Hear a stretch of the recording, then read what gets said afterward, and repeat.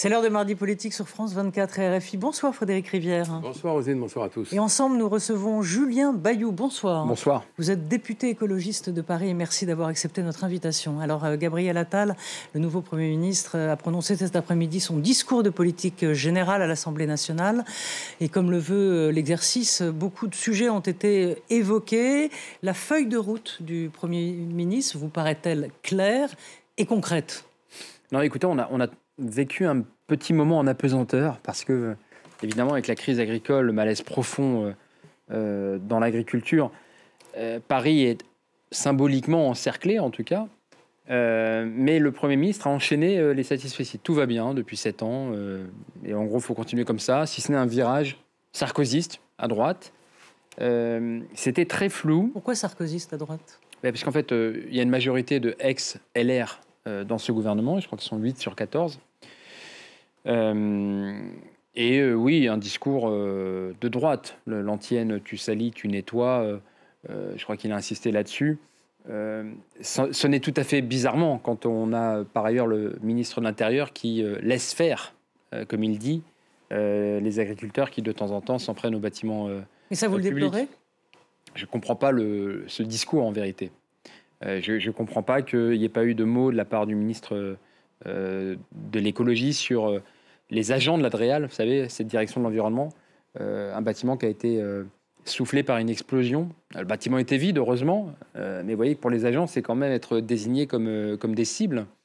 Mais le discours sur la nécessité d'un certain ordre dans une société, D'accord, il vous heurte? Ben Non, bien sûr que non, sauf qu'il n'est pas du tout respecté. Hmm. on est, enfin, aujourd'hui, on ne peut pas dire que le pays soit apaisé. On ne peut pas dire non plus que les agriculteurs soient euh, majoritairement et massivement des casseurs. Non, non, mais moi, je, dans, dans, cette crise-là dont nous parlons. Je ne dis pas ça. dis pas ça. Moi, je souhaite d'ailleurs qu'on puisse parler euh, sur le fond de la question agricole, euh, parce que les écologistes en sont les meilleurs alliés des agriculteurs. Et nous, on se bat au quotidien pour leurs revenus. D'ailleurs, les maires écologistes sont les meilleurs alliés très concrètement des, des agriculteurs, parce que quand le maire de Lyon, Grégory Doucet, met en place les cantines bio, circuits courts, il contractualise avec l'agriculteur pour des années. C'est pas l'aumône, hein. Vos produits sont bons, on les veut pour nos enfants, on va contractualiser pendant 5 ans. Ça vous donne euh, un horizon, voyez? Alors Mais, euh, là, en fait, on a quand même un, Premier ministre qui disait tout va bien, alors que non, dans le pays, tout va pas bien. Non, tout va pas bien, c'est sûr. Alors, il y a évidemment été question de la, crise agricole. Hein. notre agriculture est une force et notre fierté. Il doit y avoir une exception agricole française. Euh, vous comprenez quoi Est-ce que française, pardon Est-ce que ça veut dire qu'on s'affranchit des, normes, des directives européennes? On s'assoit dessus C'est ce que ça veut dire? Vous y comprenez Là encore, en fait, c'est vraiment, euh, bon, au-delà des slogans et des poncifs, il faut agir. Ouais, très bien. Il faut du concret, ben, mais, mais encore, vous voyez, nous, on, hum, aimerait pouvoir en débattre. Euh, il y avait euh, une loi, loi d'orientation agricole qui était planifiée tout 2023 et qui a été sans cesse reportée. Eh bien, on en a besoin. Nous voulons garantir le revenu des agriculteurs. Quand Lactalis contraint un éleveur, un laitier, à accepter un prix euh, dérisoire, 40 centimes le, lait, euh, que ça couvre pas euh, les frais mmh. d'exploitation, ça veut dire que l'agriculteur, il se lève mmh. pour perdre de l'argent. Nous voulons garantir le revenu. Mais ça veut dire aussi, côté consommateur, qu'il paye toujours plus cher, 1,30€, 1,40€. À Paris, c'est d'ailleurs même encore un, peu plus cher. Il y a un euro qui se balade, qui est pris, capté mmh. par l'agroalimentaire, par la grande distribution. Là-dessus, il y a une loi depuis 2018. Euh, avant d'en inventer de nouvelles, faites-la appliquer. Il y a des sanctions. 2% du chiffre d'affaires. Si vous l'appliquez à Lactalis, c'est 500 millions d'euros. Euh, c'est colossal, vous voyez. Et, le Premier ministre fait comme s'il venait d'arriver. Mais il n'est que le poursuivant de la politique d'Emmanuel Macron qui a pris l'agriculture avec énormément de dédain. Nous avons, a dit euh, Gabriel Attal, nous avons trois priorités qui sont euh, a priori au cœur de, cette crise agricole. Les jachères, les importations euh, en provenance d'Ukraine, et il a mentionné le poulet ukrainien, et puis le Mercosur, donc le traité de libre-échange avec les pays d'Amérique du Sud. Est-ce que vous partagez ces trois priorités? Est-ce que vous dites, en effet, c'est sur ces points-là qu'il faut agir rapidement Non, vraiment, quand on discute avec des agriculteurs, la Confédération paysanne, bien sûr, mais même. Bah, sur les jachères. Mais même la coordination. Non, ils vous disent revenus. Revenus, revenus, revenus. Et par exemple, le Mercosur. Oui, mais quand on, si on cultive plus de terre, a priori, on fait un petit peu plus de revenus. Non, il faut garantir un revenu qui couvre vos frais d'exploitation. si vous laissez les prédateurs de l'agroalimentaire vous imposer n'importe quel prix. Mais ça, c'est ce que prévoyait la loi Egalim initialement, c'est-à-dire que le prix de vente soit fixé en, fonction du coût de production. J'y reviens, mais oui, tout à fait. Et donc, par exemple, Bruno Le Maire dit J'ai la liste des entreprises qui ne respectent pas la loi. Très bien. Qu'est-ce que vous attendez? Vous êtes ministre de l'économie depuis euh, sept 7 ans. La loi a été promulguée en 2018. Alors pourquoi, selon vous, cette loi n'est pas appliquée? Parce qu'ils ne veulent pas. Ils ne veulent pas déranger la grande distribution. Mais oui, ils ne veulent pas s'attaquer au cœur du problème, c'est-à-dire le revenu. Et quand je dis revenu, que les agriculteurs puissent vivre correctement, décemment de leur travail. Hmm. C'est vraiment. Ah, par, exemple, autre diversion, le Mercosur. Moi, je me réjouis qu'enfin on dise c'est pas possible de faire un traité de libre échange avec euh, euh, l'Amérique du Sud pour aller vite. Mais le Mercosur n'est pas signé et les discussions étaient très mal engagées. En revanche, avec le Chili, c'est ratifié. Avec la Nouvelle-Zélande, c'est entré en vigueur au 1er janvier 2024. Hmm. Donc pendant que vous me parlez de Mercosur... C'est des accords bilatéraux en fait. Oui, mais pendant que vous me parlez de Mercosur, qui ne voit pas le jour, euh, qu'est-ce qui se passe avec la Nouvelle-Zélande? Euh, on, connaît la Nouvelle-Zélande, beaucoup, beaucoup de, moutons, d'agneaux, qui vont traverser, qui vont faire 20 000 km pour venir concurrencer de manière déloyale euh, l'élevage français, hmm. européen. Nous, nous disons avec les agriculteurs, n'importons pas ce que nous interdisons. Tout simplement. alors, en état actuel des choses. vous voyez que c'est de la diversion. On vous parle revenu, on vous parle cohérence, on vous parle arrêt des traités de libre-échange. Et eux, ils veulent arrêter un traité qui ne va pas se signer. Mm. C'est sûr. les agriculteurs, pour l'instant, maintiennent la pression. Hein. Vous, vous, en parliez, Paris, euh, enfin, aux alentours de Paris, euh, il y a un siège qui est organisé. Euh, ce mouvement, actuellement, bénéficie d'une très grande popularité, d'une gros, grosse cote de sympathie auprès des Français. C'est ce que disent les sondages. Est-ce que ces, agriculteurs qui sont dans ces, dans ces cortèges pour bloquer les routes, etc., ont, ont votre sympathie? Oui. Oui, oui, clairement. Absolument, les écologistes sont aux côtés des agriculteurs. Euh, c'est pas nouveau la Ce qui n'est pas toujours réciproque. Oui, Loin s'en faut. Euh, avec la FNSEA, avec certains euh, euh, syndicats, parce qu'évidemment, eux promeuvent un, un, modèle intensif qui piège les agriculteurs. Et donc, le fait de leur dire remet en cause leur gestion, parce qu'en mm. vérité, le modèle agricole français, il est co-géré par la FNSEA, un syndicat, depuis des années. nous, on, on s'alarme de la situation de l'agriculture en France. Depuis 2010, c'est 27 fermes qui meurent par jour. Hmm. Il n'y a pas d'autre plan social aussi colossal. 27 fermes qui disparaissent par jour, en moyenne, depuis 2010. Et les différents gouvernements, euh, c'est vrai, des fois un peu pleuré des larmes de crocodile, puis sont passés à autre chose. Nous, nous disons, garantissons le revenu.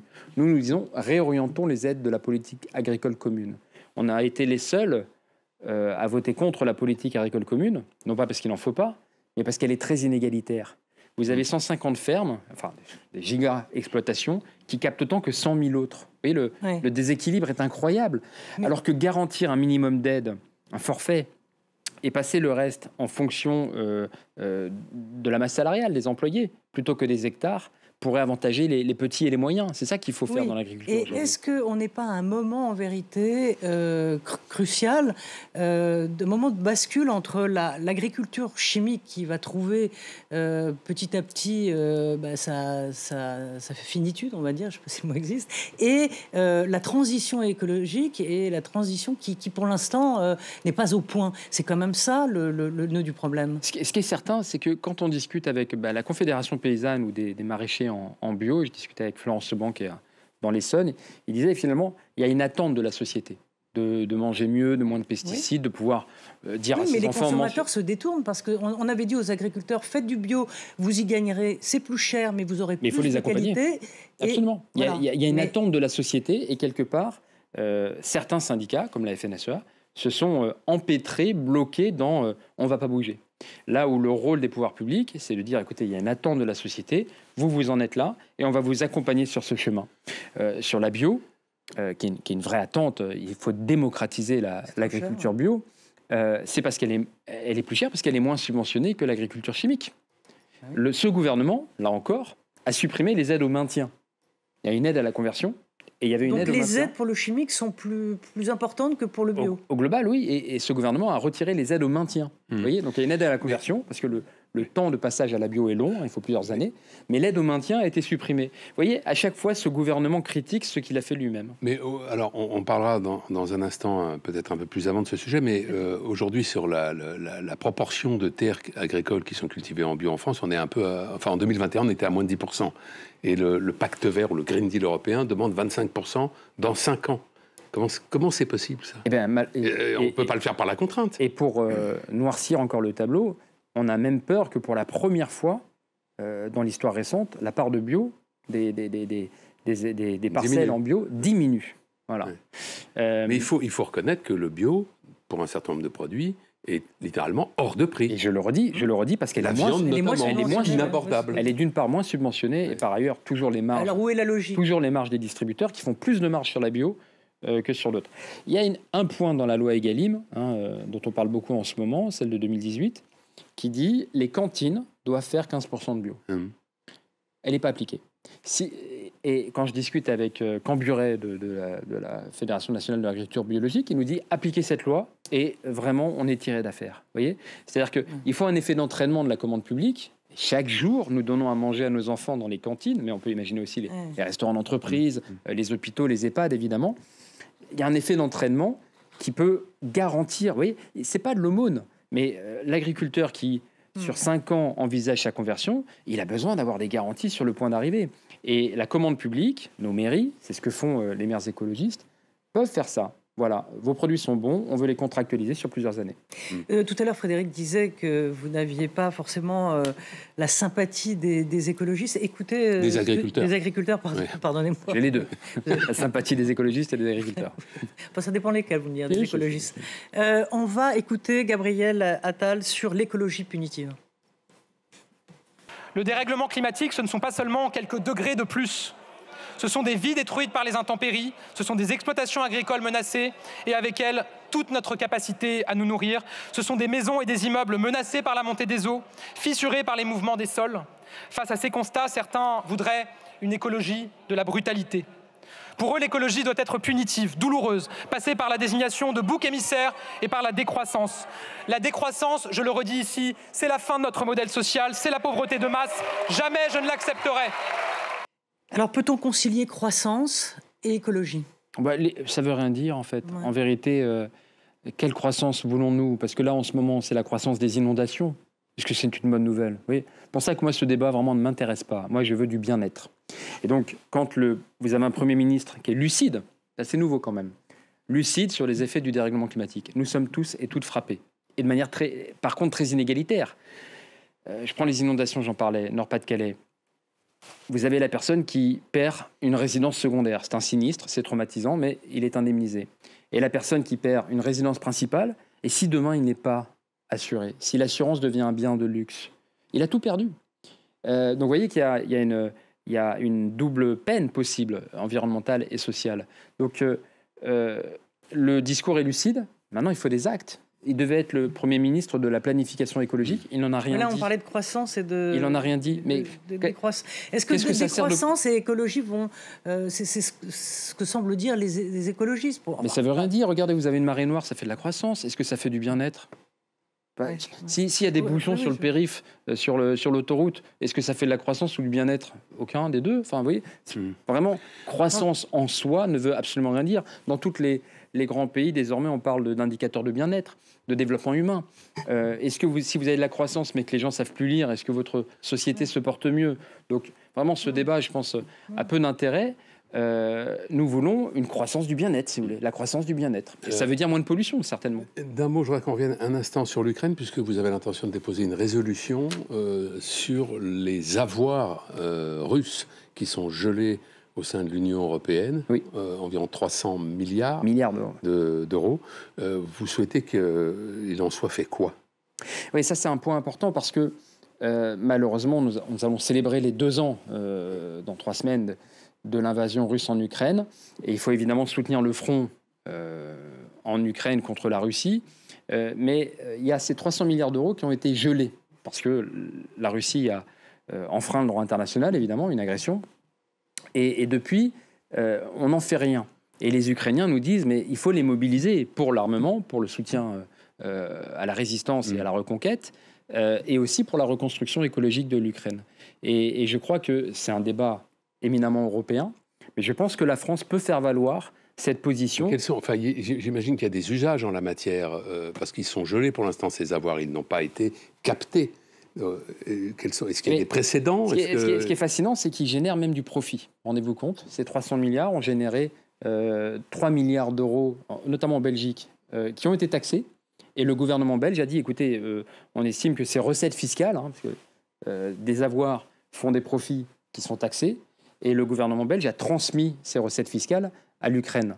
Et donc, euh, c'est possible de les mobiliser. mais cet argent, c'est à peu près la moitié de ce qu'il faudra pour reconstruire l'Ukraine.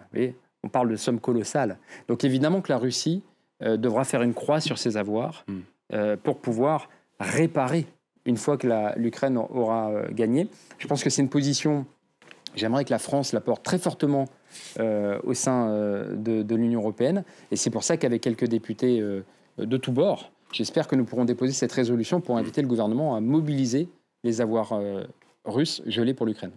Une question sur la désmicardisation de, de la France.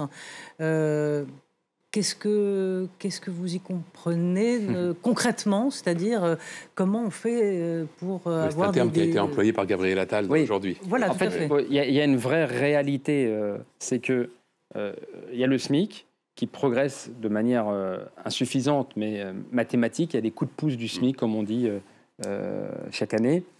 Et il n'y a plus de coup de pouce à proprement parler. Malheureusement, il y a des augmentations mécaniques. Il y a des augmentations mécaniques, mais il n'y a plus le coup de pouce. Et je dis qu'il augmente insuffisamment. Euh, mais de fait, il grignote les salaires un peu au-dessus. Ce qui fait que les personnes qui étaient 1,2 SMIC, 1,5 SMIC se retrouvent rattrapées par l'augmentation du SMIC. Euh, et ça, c'est. Euh, les économistes maintenant sont assez unanimes. c'est dû à ce qu'on appelle une trappe au bas salaire c'est les allègements de cotisations. On en a fait des, des caisses depuis des décennies à dire qu'il fallait alléger les cotisations sur le travail sur les bas salaires, si bien qu'en fait, les employeurs ne, ne, ne, ne payent plus au-dessus mm. de ces bas salaires. Euh, mais donc, ça veut dire qu'il faut en finir avec ces allègements de cotisation. Et euh, aussi bien le Premier ministre a osé parler de smicardisation, je ne l'ai pas entendu dire qu'il allait revenir sur les allègements de cotisation. Merci Julien Bayou.